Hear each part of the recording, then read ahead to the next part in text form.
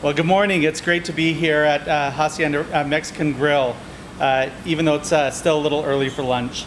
Hacienda Grill is one of thousands of small businesses in Utah showing resilience and leading our state's economy through a, a, a very difficult time.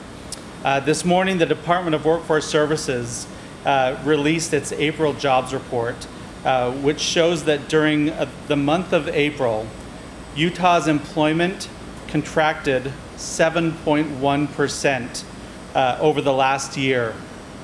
110,900 fewer people are employed in the state of Utah uh, compared to one year ago. And Utah's unemployment rate has now risen to 9.7%.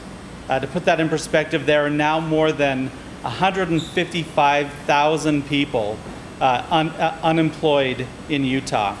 This is the highest number of people ever unemployed in our state's history. The leisure and hospitality sector uh, has seen a contraction of 43.6% since a year ago. That sector, leisure and hospitality, have lost 66,700 jobs in the last year. So it really is, as bad as the job market is right now, and it really is truly bad. Utah has performed very well relative to other states in the country.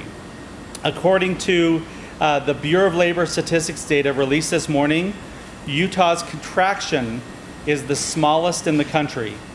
Uh, this means that Utah's job market is still the best in the country, even though it's contracting.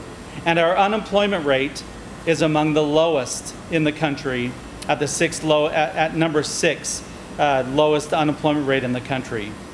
Now, there's a few reasons why Utah's economy is faring uh, better than other states. Uh, it's due to the work of what I'm going to call economic heroes. Uh, one of those heroes is the Department of Workforce Services, led by Jon Pierpont.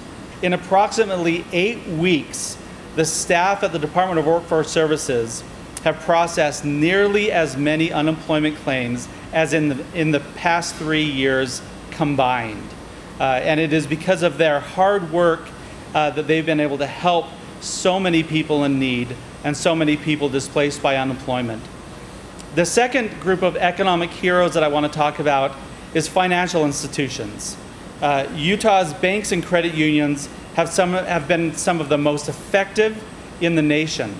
Uh, in fact, the Small Business Administration announced that as of May 8th, the state of Utah ranked number one in the nation for uh, Paycheck Protection Program lending. Utah businesses have received nearly $5.3 billion in PPP loans and more than $246 million in economic injury disaster loans. This funding is not only uh, critical to preserve small businesses, but it also has what we call a multiplier effect, where that money can go further to help more people as those dollars are spent in the economy. Uh, PPP lending in Utah has provided economic relief to about 63% of all the state's small businesses, according to the American Bankers Association.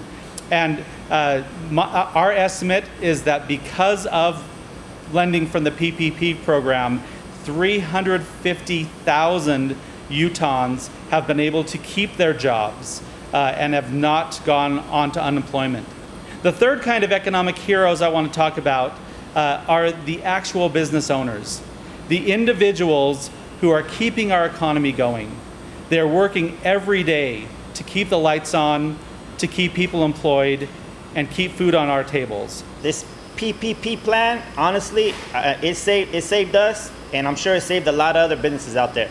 Once we saw this money in the bank account, it was just like a, a big boulder lifted off your shoulders. I want to say thank you to to our employees because if it wasn't for them, it'd be tough for us to even stay in business.